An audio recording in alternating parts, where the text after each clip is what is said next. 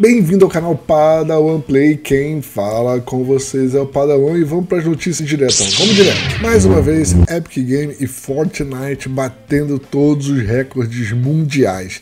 Exatamente, dessa vez Fortnite bateu o recorde da Twitch TV de espectadores em transmissões simultâneas. Exatamente. Nessa segunda-feira aconteceu o fim da segunda temporada e o início da terceira temporada do capítulo 2 de Fortnite, que se chamou The Device. Exatamente. O negócio que aconteceu foi o seguinte: a transmissão atingiu um pico de 2,3 milhões de usuários assistindo ao mesmo tempo e conseguiu bater o recorde anterior, que era de 1,7 milhões de espectadores, que foi alcançado pelo League of Legends durante a edição de 2019 no Mundial, mundial de LoL. Fortnite também já tinha atingido essa marca de 1,7 milhões de pessoas durante o evento The End em 2019. Mas logo depois foi superado pelo LoL, né? Em 2018, esse recorde pertencia ao CSGO, mas de 1.1 milhão, mas logo depois foi quebrado pelo Fortnite, que foi quebrado de novo pelo League of Legends. Então, eu vou deixar aqui a tabelinha na tela para vocês verem. Primeiro foi Fortnite World Cup, com 1.3 milhões de, de espectadores. Depois foi o Celebrity Pro M, aquele lá no estádio foi muito maneiro também, 1.5 milhões. Depois foi o The End, com 1.7 milhões. Logo depois veio o LoL. O LoL bateu o recorde de novo com 1.7 milhões de espectadores. E agora, segunda-feira, dia 15, foi um marco na história da Twitch TV, o The Device, com 2.3 milhões de espectadores simultâneos. Realmente, Epic Games está transformando Fortnite num jogo épico. o nome dele, né? Epic Games. Isso aí, galera. Agora realmente o negócio ficar complicado, hein? É uma boa notícia, mas temos que tomar muito cuidado a partir daqui para frente. O WhatsApp vai estrear recursos de pagamento no Brasil. Exatamente. Agora, pelo seu WhatsApp, você vai poder pagar uma pessoa, mandar dinheiro para alguém. Isso tudo pelo WhatsApp. Logo no início vai ser possível usar cartão de crédito, débito da Visa, Mastercard, emitidos pelo Banco do Brasil e pelo Nubank. Quem tem Nubank também vai, vai poder utilizar essa novidade do WhatsApp. E a utilização vai ser muito fácil também. No mesmo lugar que você envia foto, quando você clicar ali para você poder enviar foto, seja no Android, seja no, no iOS, ali vai aparecer também um ícone para você poder mandar um dinheirinho para a pessoa. Eu já vou mostrar para vocês aqui como vocês poderão enviar dinheiro, pagamento para outras pessoas ou pequenas empresas, tá bom? Vamos ver o vídeo aqui juntos. Aí, ó, como enviar dinheiro no WhatsApp. Ficou 50 reais para cada um, aí alguém mandou mensagem, ah, já vou enviar. Toque no ícone de clipe de papel, que é para anexar alguma coisa. Olha lá. E aí você vai poder tocar em pagamento. Galeria, localização áudio, pagamento.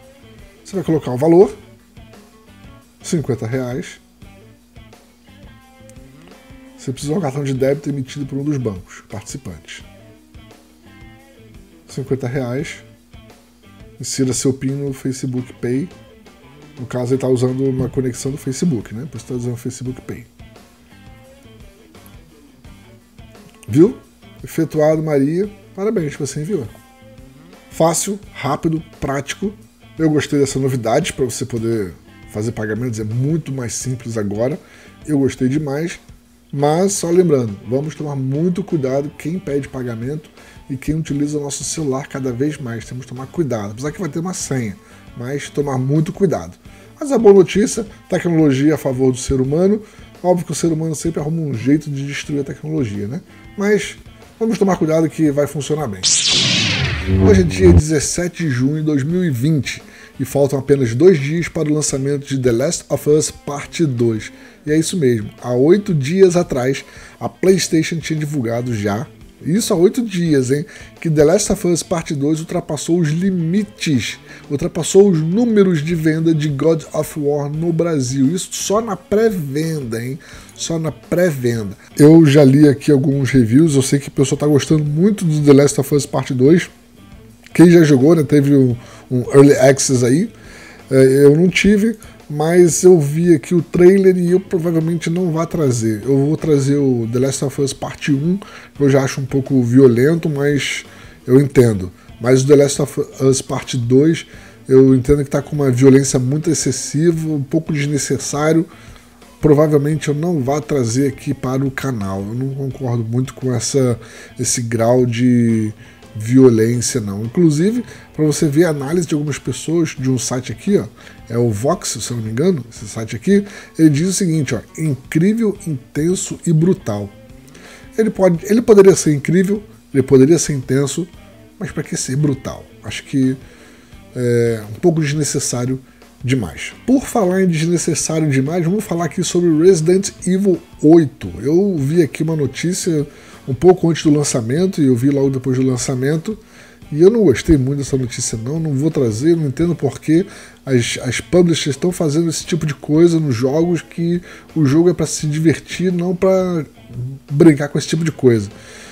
A notícia diz o seguinte: olha, Resident Evil 8 será focado em ocultismo e terá uma nova personagem jogável, diz rumor. Sério?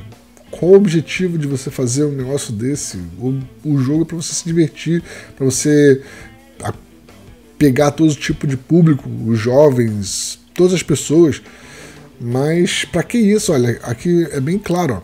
Ó. A trama será focada em um grupo de, de cultistas liderados por um homem conhecido como Alan R, Alan R, que seria o principal vilão. Eu lembro que eu joguei Resident Evil 2 e o objetivo e o Resident Evil 2 ele era focado em zumbi, morto-vivo. Não tinha nada a ver com o ocultismo até então. E eles foram simplesmente mudando, mudando, mudando e mudaram a, a, a filosofia do jogo. Eu não entendi muito bem o porquê, eu não concordo muito com esse tipo de coisa, eu não jogo esse tipo de jogo.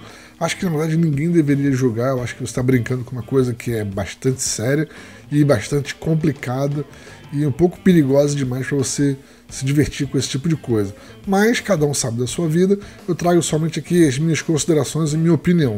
Provavelmente é um jogo que eu não irei jogar, eu não gosto desse tipo de jogo, mas gostaria muito que as publishers não fizessem isso nos jogos, assim como nos filmes também, onde eles deturpam um pouco o conceito das coisas. Brincam com coisas que deveriam brincar e tem esse, esse meio. fica meio meio termo ali em cima do muro um negócio muito esquisito.